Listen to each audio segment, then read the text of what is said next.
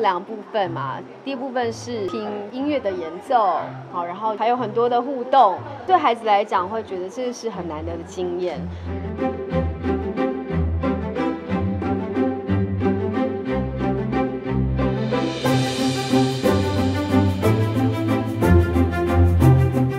我觉得今天大家应该都很幸福，为对我来说，在上课的时候，其实也很实际的感受到每个孩子的表达，有那种很害羞不敢讲话的，然后到不讲话的，然后到最后愿意用断掉蜡笔画出来。对，